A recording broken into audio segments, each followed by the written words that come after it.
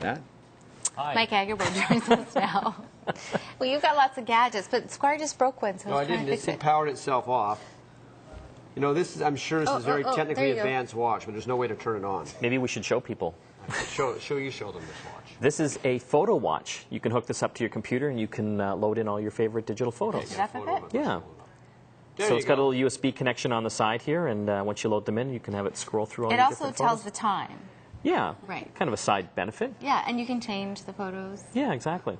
And uh, also multiple times, it's got a calendar, stopwatch, and everything It in it does. as well. It does. And it's called the Photo Watch from Neutrino. Does anybody really need? I I guess this is a question that goes to individuals. Do you really need photos on your watch?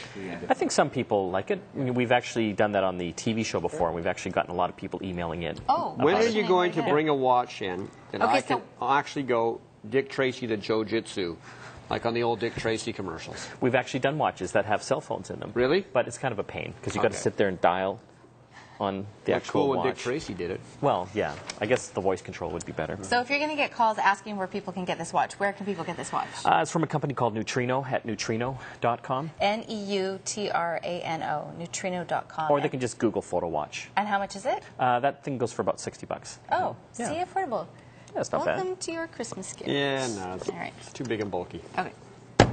Next. Talking about big big and and bulky. So I've shown a lot of external hard drives. Uh, those are big sellers right now, so you can put all your photos and videos and everything on them. This one here takes it to another level. Um, it's actually fire and waterproof. as Wow, well. does this also strap to your wrist? You could if you want, but you'll probably Yes, break your wrist. Sentry Safe. So it's, it's a hard drive? Yeah, so this is kind of a cool thing. One of my biggest complaints with external hard drives is uh, people are using them as a backup. But what if your house or your business burns down?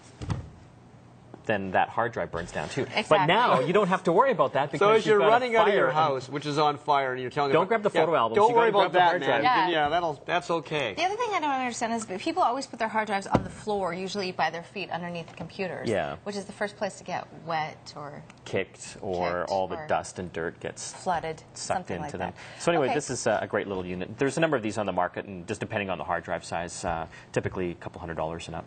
Okay, that's not them. bad at all. Yeah. But are you living near a floodplain or something? Your floor is always getting wet? Sometimes. Or is that Let's just, move Or is that the dogs mistaking your hard drive for a fire hydrant? Sometimes. Uh-huh. Let's move on. Um, this is kind of cool, a little portable solar charger for things like uh, iPods and uh, phones. That is a good idea. I think people Yeah. are wanting to do more of this stuff. They feel more responsible. Does it work, though? That's the question. Uh, yeah, it's not bad. So uh, after you charge, it takes a few hours to charge it, but you can actually uh, charge up a full cell phone or uh, an iPod out of it, which is kind of a cool thing. So uh, roughly an hour of sunshine equates to about 40 minutes of music on your iPod, or Oh, about okay. 15 minutes talk time. And again, I know I ask this silly question every time. Could you put it out on a cloudy day and would it still Work. charge up? Apparently. You should just take Yes. this and actually I see haven't. if it I haven't works. tested this one on a cloudy you day. I've tested other ones. But but, and it, they but work. solar energy, solar panels are supposed to work. Yes, even they're if it's supposed to cloudy. work. Okay. Take it and check it because you ask it every time. I'll, I'll, I'll trust Mike.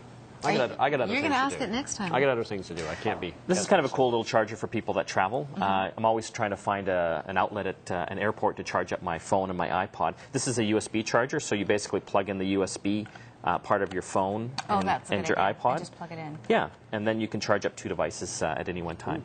And they Good typically go for about 20 bucks. That's a great idea. Yeah, from Belkin.